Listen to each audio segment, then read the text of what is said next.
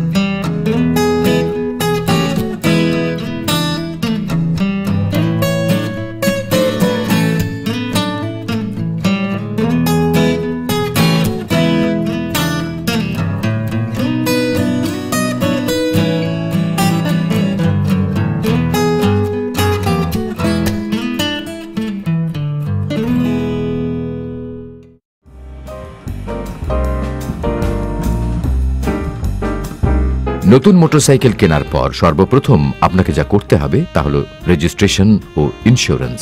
পেশাদার লাইসেন্স নিতে ২০ বছর এবং অপেশাদার লাইসেন্সের জন্য আঠারো বছর বয়সী হতে হবে। বাংলাদেশ রোড ট্রান্সপোর্ট অথরিটির নিয়ম অনুযায়ী ড্রাইভিং লাইসেন্স পেতে হলে প্রথমে শিক্ষানবিশ লাইসেন্স গ্রহণ করতে হবে।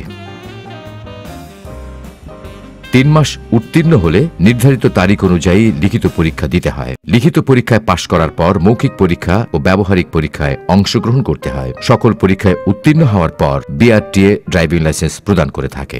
বয়সের কোঠা পূরণ হলে আপনার লাইসেন্স পেতে আরও আনুষঙ্গিক যা যা প্রয়োজন, চেয়ারম্যান কর্তৃক নাগরিক সনদপত্র, রক্তের গ্রুপ, মেডিকেল রিপোর্ট পরীক্ষা পাশ করার পর পুলিশ তদন্ত প্রতিবেদন, নিজের নাম, পিতার নাম, মাতার নাম, বিআরটিএ কর্তৃক দিয়েও নির্ধারিত ফর্মে বৃদ্ধাঙ্গুলির ছাপ ও স্বাক্ষর।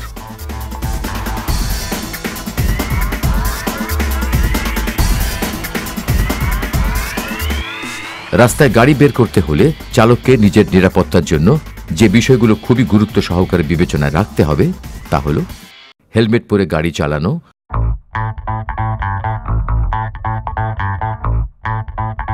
ট্রাফিক রুল মেনে চলা। চলন্ত অবস্থায় ফোনে কথা না বলা। রাস্তায় দ্রুত গতিতে গাড়ি না চালানো। অতিরিক্ত ওজন বহন না করা। মাতাল অবস্থায় গাড়ি না চালানো। প্রতিযোগিতাপূর্ণ মনোভাব পরিহার করা।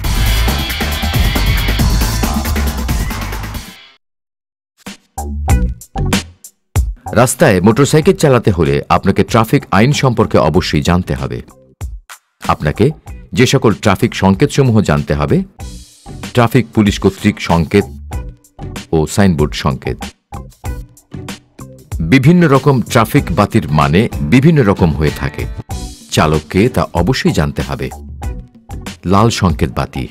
লাল অর্থ থামুন। হলুদ সংকেত বাতি। হলুদ অর্থ প্রস্তুত হন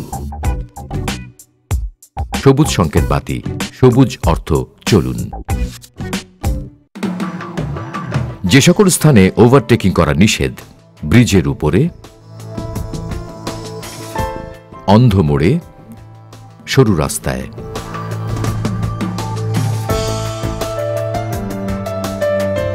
অরক্ষিত লেভেল ক্রসিংয়ে গাড়ি চালানোর সময় চালককে দায়িত্বশীলতার পরিচয় দিতে হয়। গাড়ির গতি কমিয়ে ডানে বামে খেয়াল করে নিরাপদ মনে হলে অতিক্রম করতে হবে।